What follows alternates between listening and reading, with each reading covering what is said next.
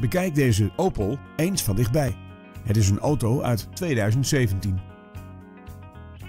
Dit is een splinternieuwe auto die nu uit voorraad leverbaar is.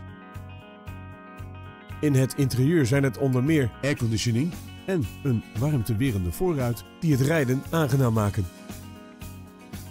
Wilt u deze auto zelf ervaren? Neem dan contact op met een van onze medewerkers.